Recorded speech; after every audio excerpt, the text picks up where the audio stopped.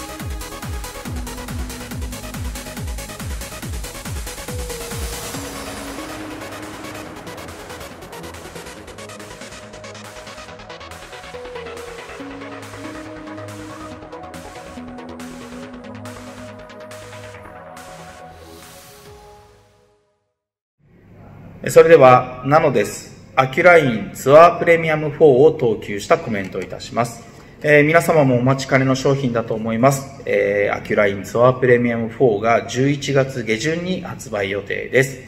えー、簡単にスペックからご紹介いたします。えー、コアに関しては、えー、もうおなじみのプレミアムコア、えー、15ポンドで RG が2.460、え、デルタ RG が0.055、えー、で、マスバイアスがありますね。えー、非対称コアということになっております。えー、そして今回4に使用されているカバーストックは、えー、2パール1ソリッドの、えー、ハイブリッド仕様になっております。えー、その中に、えー、新添加剤としてアクティブという、えー、添加剤を搭載しているというのが、えー、大きな違いになってきます。えー、ハイブリッドカバーは前作の3でも使用しているんですけども、えー、今回この3のカバーとの大きな違いというのは、もちろんアクティブというものが入っているってこともあるんでしょうけど、えー、オイルを使っても非常にいいリアクションが出たなという印象を受けております。